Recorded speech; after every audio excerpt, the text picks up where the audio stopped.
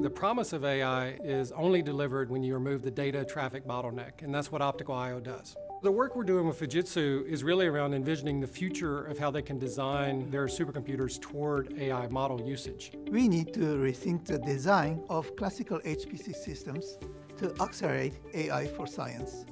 We believe that fundamental change such as optical I.O. is required.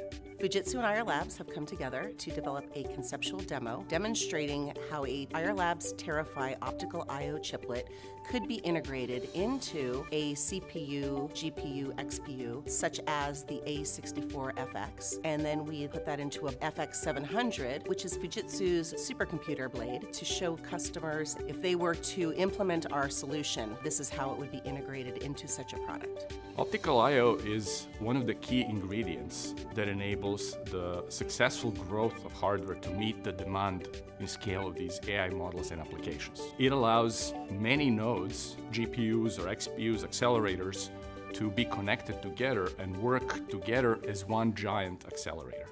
Optical I.O. improves the power efficiency of interconnects by being located very close to the XPU as a chiplet it has an advantage of improving the signal density of interconnects between racks. These advantages are very promising for future AI HPC systems. Optical I.O. increases not only signal density but also power efficiency.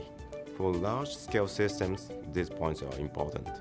We're very excited to work with Fujitsu on the next generation supercomputer we think Ayar Labs Optical I.O. will be the key ingredient in the interconnects in such supercomputers. If A64FX CPU had optical I.O., FX700 machine would have much more links and direct interconnection network of CPUs.